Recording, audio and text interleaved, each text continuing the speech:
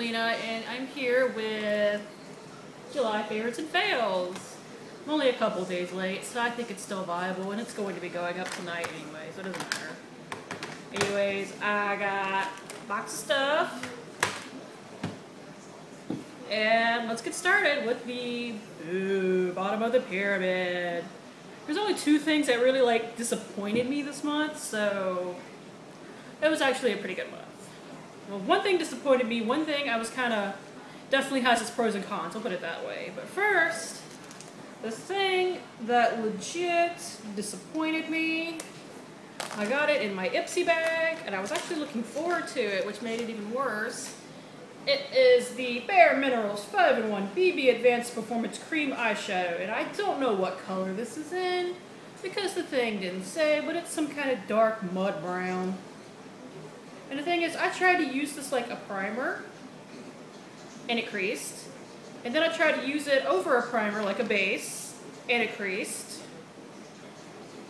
And it's not a pretty color, and I know they're all supposed to be neutrals, but it, I might be less tempted to already hate it if they sent me the one of the lighter colors, but this was a no-go. I'm, I'm going to get rid of this, actually, because I'm never going to use it. So I might as well pass it along and hope that it works better on somebody else, because I admit that I have oily eyelids, so some things just don't work on me, but so many things do, so I don't feel the need to keep that. Alright, next on the pyramid is the thing that, or the things that have their definite pros and cons. Okay, I bought a bunch of these e.l.f. $1 lipsticks from the Essential line. I only kept, I bought four and I only kept three because one of the colors just didn't work for me. I bought Voodoo.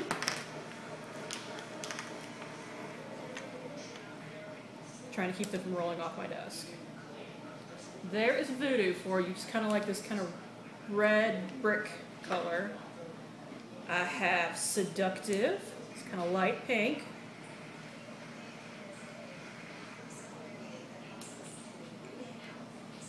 And I think this might be the one that's.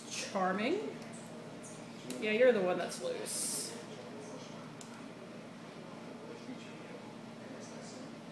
Kind of a neutrally pink.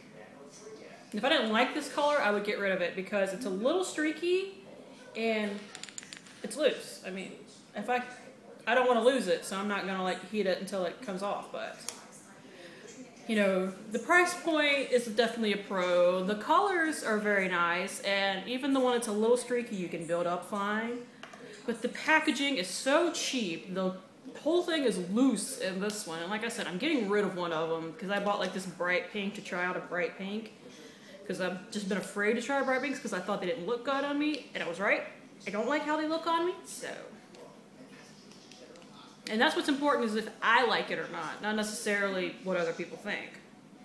So, I mean, if you need to get colors and you don't have a lot of money to spend, this is definitely a way to build up your collection.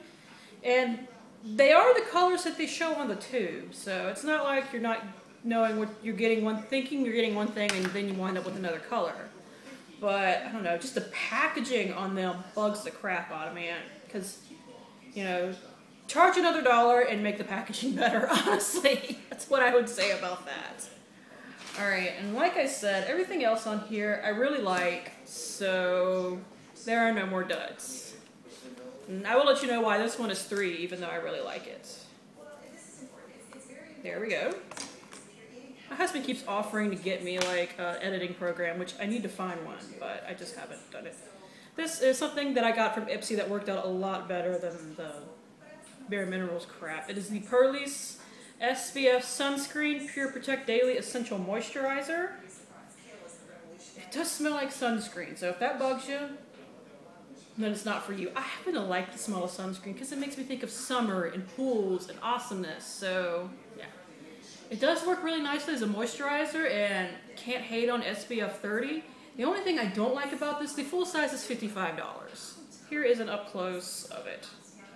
So I would never purchase this, but I, every sample I ever get of this, if it ever happens again, I will happily use, and I will happily use other samples I get from Purlisse, because I know it's one of the brands of Ipsy that they like to send out. Like I said, even with the like 30% discount you usually wind up getting from Ipsy, I'm not paying that much. $55 my butt. I cringe at paying $26 for my favorite moisturizer. But I love that damn thing, so I'm obviously going to be paying it. Anyways, next, don't let its position fool you. It's very, it's great. The only thing I don't like about it is that it was a limited edition, so I can't get it again. Or this was actually bought for me in a swap with Juicy Fashion 11. It is the e.l.f. Disney Princess Ariel bronzer. I haven't used, gotten to use it a lot because I have a Pro Project Pan bronzer, but I really enjoy this. And it's, it's swatched. I like that it's light. I like that it's golden because it's just great for summer. And of course it would be golden because it's Ariel and she's like out, she's like out being a little beachy mermaid. I just think this is really pretty. I mean, it's shimmery. I obviously can't contour with it, but I could definitely warm up my face with it, and that's what I've used it for. And this will probably be my main bronzer when my other e.l.f. bronzer runs out, so I like this. It'll at least be my main bronzer for the rest of the summer, because I think it's a little too golden once you start getting into fall and winter. But then when spring rolls around again, I'll obviously break this back out. And yes, the packaging is darling. And I can't find these at my Walgreens anymore, and that makes me sad. Because if I could, I would probably buy like five more just to make sure that I had them forever. Thank you, Miley, for sending that to me. Let's see. We've hit the second tier of the pyramid. Next is something that Ipsy sent me a couple of months ago, but I've just started using on a regular basis because it's in my Project Pan. It is the Benefit Lollitint. It is a little sample. It is the one that comes out with the little bit of the orchidy color. Now I need to get off my hand before it stains. I do use this under my blush every day to make my blush kind of adhere to my skin a little better. But some days I will just use it alone because I think it's a really pretty color. And once I use this up and I'm not on Project Pan anymore, I might actually purchase this because I do really like it. Because I tried the Benefit Benetint. It didn't come out the color that I was thinking it was going to come out, and then Ipsy sent me something else that did. But I didn't have room for it on my thing because everything else on here I really liked, and I liked that fine, but whatever. I don't know, it totally could have been on here if it was an 11 spot pyramid instead of a 10. Anyways. I dropped my top! Not that top, the top to my pen. Next we have the Tarte LipSurgence um, Elite. This is what I got from, from that, I don't remember what it was called. The only reason this is in my project pan was because I wanted an excuse to use it. Because I really like it. I think it's a gorgeous summery color and I have banged this to heck and back, so obviously I'm loving it. They have the minty smell that I know some people don't like and the minty tingle that I notice people definitely don't like. But I don't mind, I actually like the smell of mint, so I really don't mind it or the tingle. And I think this is a really pretty, good summer color that I do wear a lot. I'm just not wearing it today because I got one of the L'Oreal bombs. But, yay! I would probably actually purchase that after I finish it up.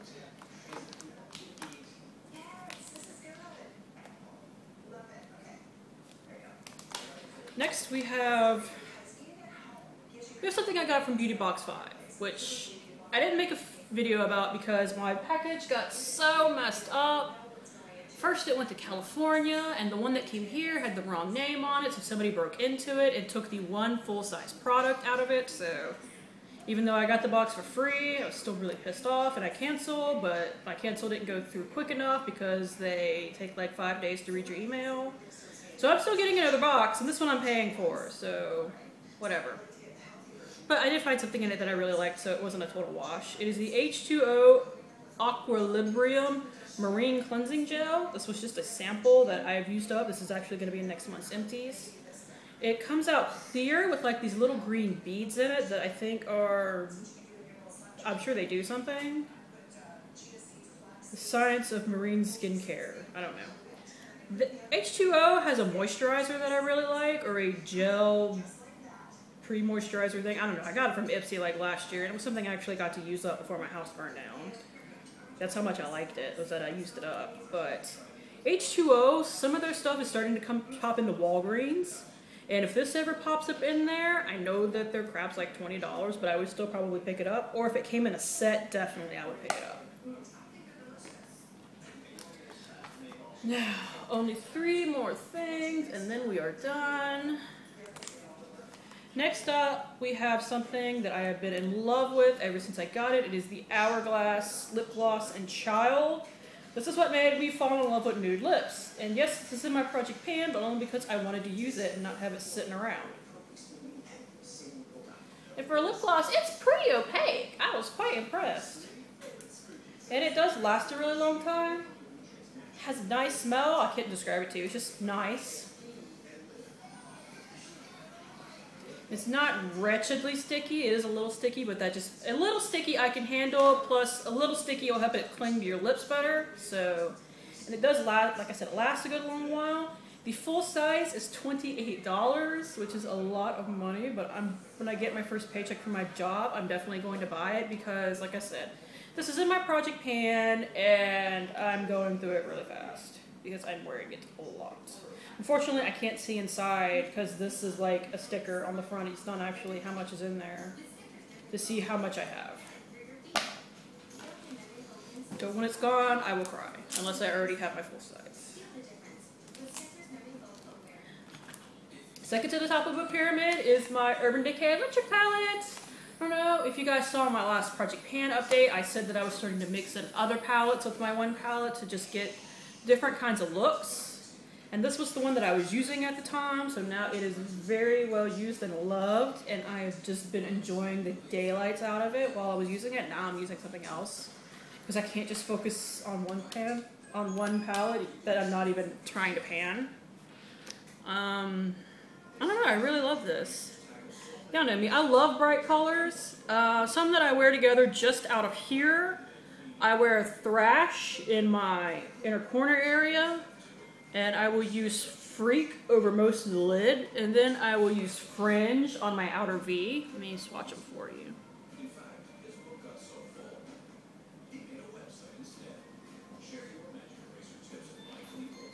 Come out really pretty, and I love the look.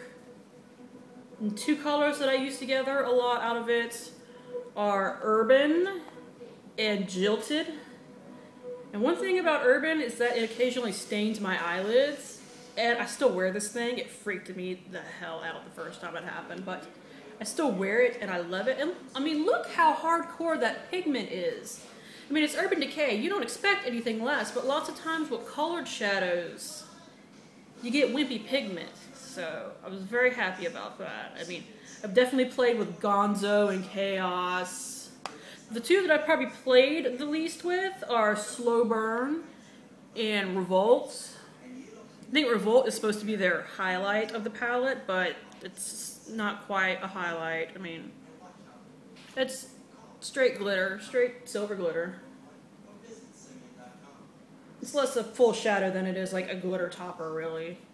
And the main reason I have it fold with Slow Burn is that when I bought it, I thought it was going to be red. Like, all the pictures were showing it red, but that's not red, that's orange. And I like orange. I like to wear orange, I found out even. But that's not what I bought it for. See, when it wipe it off, it looks, it's that definite ready, reddish orange that I could definitely make like a real pretty sunset look with it, but I, I'm, I was just kind of mad at it and kind of avoiding it. But ain't nothing wrong with the actual color, I just thought it was supposed to be something else. Anyways. I really love this palette. If you like color at all, you should definitely look into getting it. Go to Ulta or Sephora, swatch it, love it. You can create a lot of looks with these. If you want to see any looks with these that I have done, uh, let me know and I will definitely show them to you. And I could show using like a pop of these with a lot of different looks if you just want something a little more subtle.